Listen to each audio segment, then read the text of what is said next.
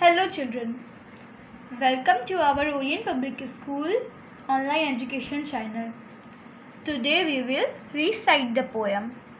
So let's start it. The sound of bee. Listen and sing.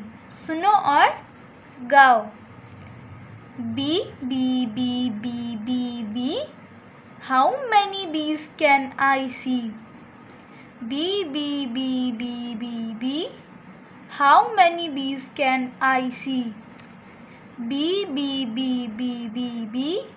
How many bees can I see? B for butterflies and baby hmm. bear. B for blue brush in your hair. B for butterflies and baby bear. B for blue brush in your hair. B for butterflies and baby bear. B for blue brush in your hair. B for big bubbles everywhere. B B B B B B B for big bubbles everywhere. B B B B B B B for big bubbles everywhere. B B B B B B You will remember this poem.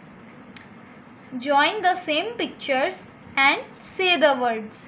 हम लोग को match करना है जो जो same pictures है और उस उस पिक्चर को हम लोग को बताना है कि वो कौन सा पिक्चर है फ़र्स्ट फुटबॉल।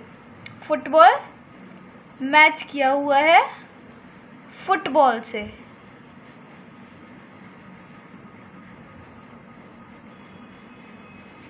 बॉय, हम लोग बॉय को किससे मैच करेंगे? बैलून से? नहीं, बॉय से।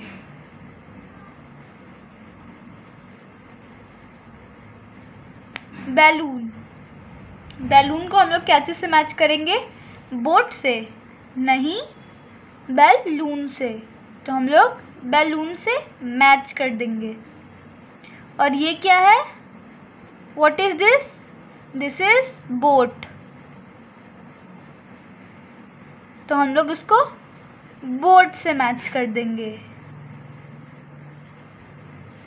ये हो गया फुटबॉल, ये हो गया बॉय और ये हो गया बैलून और ये हो गया boat.